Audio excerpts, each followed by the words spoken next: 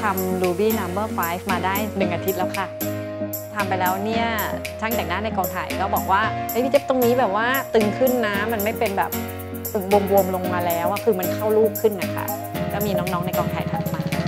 ใช่ค่ะ ตอนนี้กรอบหน้าของพี่ชัดขึ้นนะคะ เพราะว่าแต่ก่อนมันเป็นเอียงลงมาอย่างนี้ใช่ไหมคะ แต่ตอนนี้มันขึ้นเป็นในลักษณะนี้แล้วค่ะ ก็รู้สึกแฮปปี้ค่ะ เพราะว่าออกกล้องมาเนี่ยมันจะหันซ้ายหันขวาหันสีมาก ก็มั่นใจเลยที่ไม่ต้องคิดว่าไอ้หน้าฉันต้องหน้านี้ดีที่สุดตอนนี้คือหมุนได้รอบตัวค่ะ ก็ต้องให้มาเจอกับคุณหมอกวางนะคะ ที่บริรัตคลินิกค่ะ เพราะว่ารูปหน้าของแต่ละคนไม่เหมือนกันใช่ไหมคะ เพราะฉะนั้นก็ต้องปรึกษาคุณหมอว่าจะทำกี่เส้นเท่าไหร่เนี่ยก็แล้วแต่ตัวบุคคลก็แนะนำนะคะว่าลองมาปรึกษาได้ที่วริรัตคลินิกค่ะ